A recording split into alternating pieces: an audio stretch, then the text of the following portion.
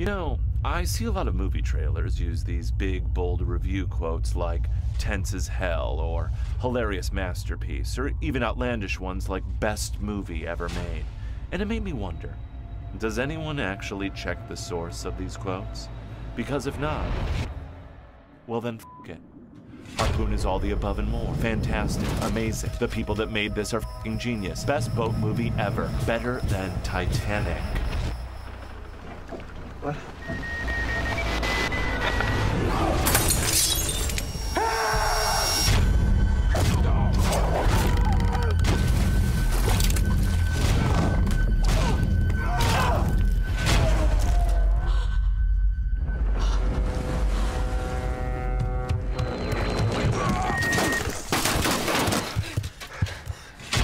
Okay, maybe not better than Titanic, but it's pretty good.